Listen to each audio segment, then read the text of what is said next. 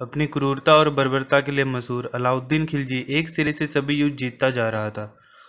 उसने रणथंबोर पर अपना वर्चस्व स्थापित करने के बाद चित्तौड़ के किले को अपना निशाना बनाया। हालाँकि उसने यह किला भी अपने अधीन कर लिया, लेकिन इसे जीतने के लिए उसे बहुत ही करारी टक्कर का सामना करना पड़ा था।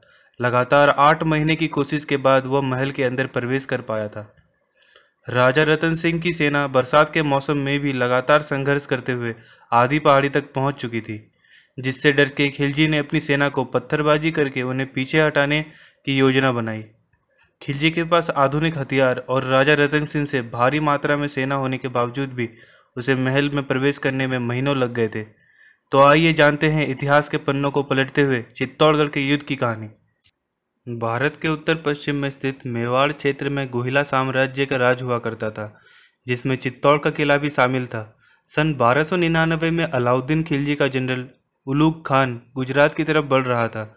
इसी दौरान उसने रास्ते में पड़ने वाले मेवाड़ क्षेत्र पर भी हमला बोल दिया।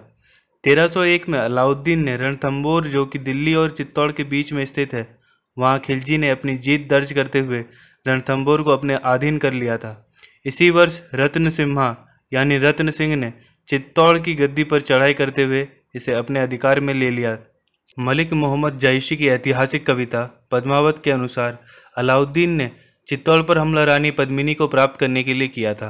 रानी पद्मावत राजा रत्न सिम्हा यानी रत्न सिंह की पत्नी थी। पद्मावत के अनुसार ही एक राघव नाम के व्यक्ति ने अलाउद्दीन खिलजी को जाकर रानी पद्मिनी की खूबसूरती का बखान किया, जिसे सुनकर खिलजी ने चित्तौड़गढ़ पर चढ़ाई करने का फैसला लिया। 28 जनवरी 1303 को अलाउद्दीन ने अपनी बड़ी सी सेना के साथ चित्तौड़गढ़ की तरफ़ चढ़ाई के मकसद से चलना शुरू कर दिया। सेना के साथ किले के पास पहुँचने के बाद उसने बेरेज और गंभीरी नदी के बीच अपना कैंप लगा लिया। खिलजी की सेना ने रत्न सिंह के किले को चारों ओर से घेर लिया। अलाउद्दीन ने खुद चित्तौड़ी पहाड़ी पर कैंप लगाकर जम गया।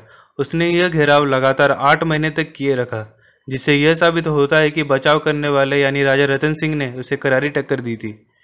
खिलजी की नौबत ऐसी आ गई थी कि आमिर खुसरो भी खिलजी का साथ देने के लिए इस युद्ध में कूद पड़ा।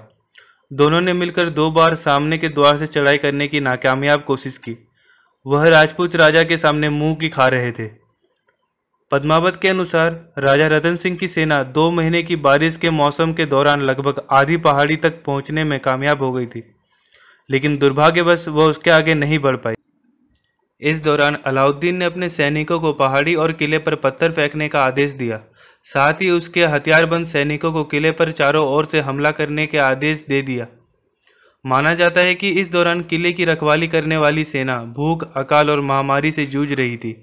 किले में मौजूद सेना की हालत बहुत खराब हो चुकी थी। 26 अगस्त 1303 को अलाउद्दीन किले में प्रवेश करने में सफल हो गया। वहाँ अपनी फतेह हासिल करने के बाद उसने चित्तौड़ की जनता के नरसंहार का आदेश दे दिया। आमिर खुसरो के अनुसार, खिलजी के दिए हुए आदेश पर करीब तीस हज़ार हिंदुओं को किसी सूखी घास की तरह काट डाला गया। इस युद्ध में राजा रतन सिंह के साथ क्या हुआ, इस पर अभी भी मतभेद है। इस विषय पर अलग अलग मुस्लिम लेखकों ने अलग अलग बात कही है। इसमें आमिर खुसरो, जियाउद्दीन बरानी और इस्लामी लिखते हैं कि चित्तौड़ के राजा ने अलाउद्दीन के सामने सरेंडर कर दिया और उन्हें खिलजी ने माफ़ भी कर दिया। इसी प्रकार जैन लेखक कक्का सूरी ने लिखा कि अलाउद्दीन ने राजा की सारी संपत्ति ले ली और उसके बाद उसने राजा की हालत कुछ ऐसी कर दी थी कि वह एक राज्य से दूसरे राज्य तक मारा मारा फिरता रहे। जबकि इसी विषय पर आधुनिक इतिहासकारों का मानना अलग है। उनके मुताबिक राजा रतन सिंह आखिरी समय तक लड़ते हुए युद्ध भूमि में ही शहीद हो गए।